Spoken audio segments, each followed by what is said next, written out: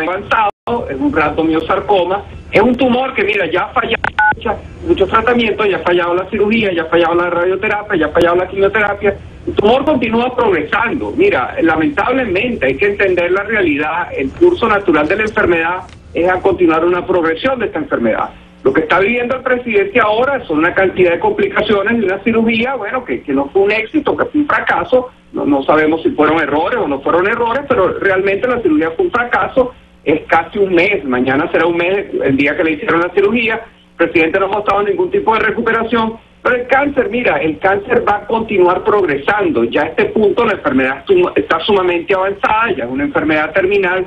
Y el presidente, mira, hay que aceptarlo, por muy difícil que sea, le quedan la expectativa de vida del presidente son tal vez algunos pocos meses. Yo siempre he dicho el mes de abril calculando la velocidad del crecimiento. Doctor, indudablemente lo que usted está diciendo es algo muy fuerte. Usted no sé qué tipo de contacto tiene para recibir este tipo de información porque usted no estuvo con el presidente Chávez, usted no estuvo en Cuba. Usted se convirtió en una figura muy polémica, indudablemente sus comentarios, por lo que estamos viendo en las redes sociales. Hay mucha gente que le agradece que informe porque creen que el gobierno no está haciendo lo suficiente, pero hay otra gente que cree que usted, se está aprovechando de esta situación para ganar popularidad. ¿Cómo, si nos puede decir, cómo está recibiendo esta información? Una información que el gobierno cubano y venezolano lo manejan con tanto hermetismo. ¿Cómo usted tiene acceso a todo esto? Mira, lo de las fuentes, yo siempre lo he dicho, lo de las fuentes es algo que yo voy a discutir después de que todo esto suceda. Ahora, eh, ¿qué, es lo, qué lo, mira, ¿cuál es lo más importante? En el mes de marzo, por ejemplo, yo estaba anunciando que el presidente iba a tener un deterioro en el mes de diciembre. Eh, aunque tenía ciertas reservas de que el presidente, yo pensé que inclusive el presidente iba a poder venir a Venezuela a asumir el poder eh, con limitaciones físicas, caminando y todo, pues yo pensé que iba a poder venir a asumir el poder. Ahora, la información que yo he dado, mira, toda se ha comprobado, todo ha sido eh, ha tenido cierta... La, mejor forma de verificar la información que he dado ha sido los hechos, que se han dado pues uno a uno.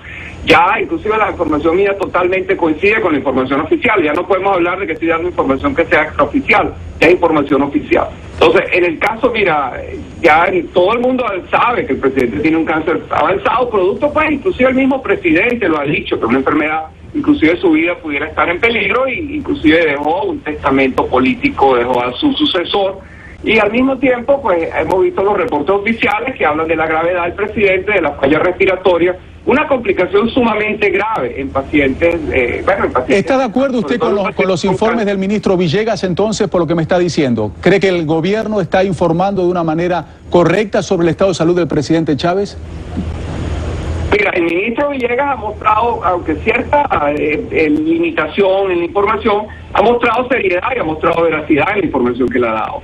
El, canciller Maduro pues, ha, dado alguna información, el vicepresidente Maduro ha dado alguna información que en cierta forma ha sido cuestionada por la opinión pública, el hecho de que hace creo que 10 días decía que el presidente se estaba ejercitando, que estaba haciendo bastante ejercicio, también dijo que el presidente había tenido, eh, había tenido una conversación con él. Cuando el paciente tiene una falla respiratoria, mira, es muy difícil, es muy difícil eh, entender que un paciente con falla respiratoria puede tener una conversación larga. Eh, creo que el presidente, mira, información que yo manejo es que el presidente ha estado en ventilación mecánica, tiene sentido perfecto porque pues realmente la ventilación mecánica es el tratamiento de la falla respiratoria y un paciente tan enfermo necesita tratamiento por ventilación mecánica con, con presiones altas, con presiones elevadas de oxígeno que solamente pueden ser enviadas a través del tubo endotraqueal. Doctor, y precisamente hablando de estos reportes médicos, tanto realizados por Ernesto Villegas y también por el vicepresidente Nicolás Maduro, en las últimas dos semanas hemos escuchado cuatro palabras claves en referencias al estado de salud del presidente.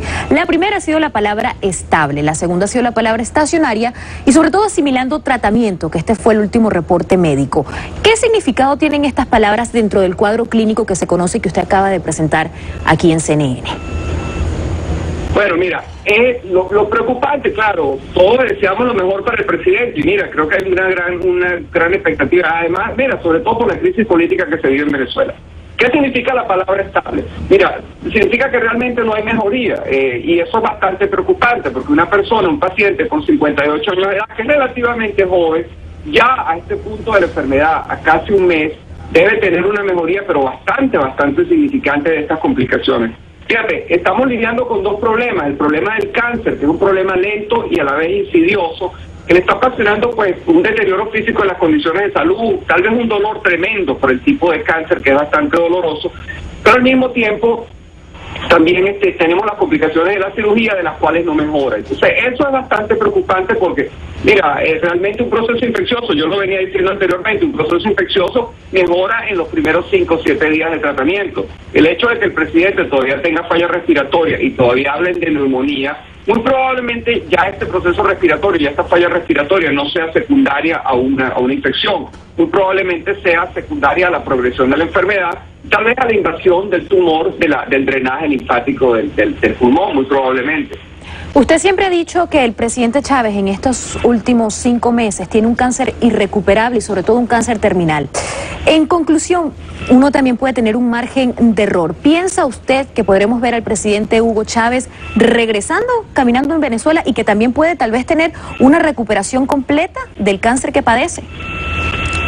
Mira, eh, sería irresponsable negar eso, ¿no? Eh, eh, existe una posibilidad muy pequeña porque pues, estamos lidiando con las complicaciones de la cirugía.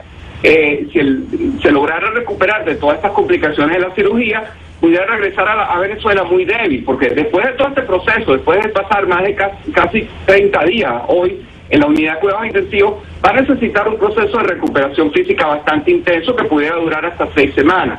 Por mismo tiempo, lo que estaba comentando anteriormente, el, el tumor, el cáncer sigue progresando. Ya este, a este punto de la enfermedad, el cáncer está sumamente avanzado. Ya no existe ningún tipo de tratamiento que se le pueda suministrar para el cáncer. Tratamiento fundamentalmente sería para mejorar la calidad de vida. Fíjate una cosa muy importante que me preocupa, que mira, este debate político, esto muy probablemente se sepa en la isla de Cuba y muy probablemente los médicos tratantes del presidente lo sepan. Creo que, mira, hay que bajar un poco el tono del debate político porque no beneficia en nada al presidente. Mira, creo que tantos mensajes de odio, tanta presión, usando la enfermedad del presidente para razones políticas, esto no tiene ningún sentido. Los médicos muchas veces en la isla de Cuba muy probablemente estén presionados de toda esta información, de todo este debate político. Muy probablemente cometan decisiones que no sean las correctas para el paciente. Mira, a este punto de la enfermedad hay que poner un énfasis tremendo en la calidad de vida del paciente, en calmar del dolor. Muchas veces ese tratamiento para calmar del dolor contradice un tratamiento muy agresivo de recuperación.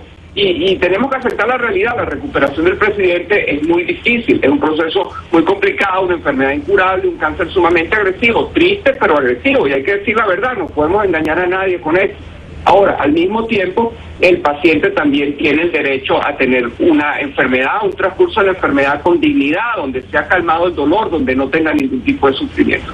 Mira, lo más importante de un paciente es respetarle sus últimos días de vida, calmándole el dolor, no llevándole un sufrimiento para un tratamiento que es innecesario muchas veces, que lo que lo está haciendo es sufrir más, prolongarle una enfermedad, donde todos sabemos que el curso, claro. lamentablemente, pues va a ser el... el, el Doctor, el, me gustaría aclarar algo. No usted está hablando del debate, que es un debate que lo salpica a usted, porque normalmente esto que decir los últimos días de vida del presidente Hugo Chávez, que en su entorno no lo dice, no lo confirma, es algo muy fuerte, que cae muy mal en Venezuela, y usted fue atacado precisamente por estos comentarios como el que nos acaba de decir a nosotros. Por ejemplo, me gustaría para finalizar, si tiene algún tipo de respuesta a un colega suyo, el del doctor Denis Ramón Gómez, que es el actual jefe de neumonología del Hospital Universitario de los Andes, quien lo califica, usted lo desacredita, mejor dicho, sobre su título universitario, como que usted no se graduó con honores. Usted al dar estos comentarios se presta a críticas y usted es blanco de críticas. ¿Tiene algún tipo de respuesta a este doctor venezolano que lo invita a usted a debatir sobre el estado de salud del presidente Chávez en público?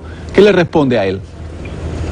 No, mira, eh, realmente la, lo, más importante, yo no estoy aquí buscando nada, yo estoy buscando eh, mostrarle al mundo que soy el mejor médico acá. Yo tengo cuatro especialidades, tengo muchos años establecidos acá en los Estados Unidos, tengo todas mis especialidades con los tengo muy buena práctica y, y, realmente, mira, yo respeto mucho las opiniones, son producto del debate político, yo no voy a caer en ese juego del debate político, cada quien tiene sus intereses, cada quien tiene sus su, su razones respeto muchísimo las personas que, que ejercen críticas y mira, eso en absoluto me afecta. Yo estoy, yo estoy, lo más importante es informar acerca de la enfermedad y, y yo no, mira, caer en un debate político a este punto, cuando la gente lo que quiere es información del paciente, pues eh, no tiene el mayor sentido. Eso, eso era esperarse una cantidad de ataques, una cantidad de cosas eh, mira, cosas increíbles que yo...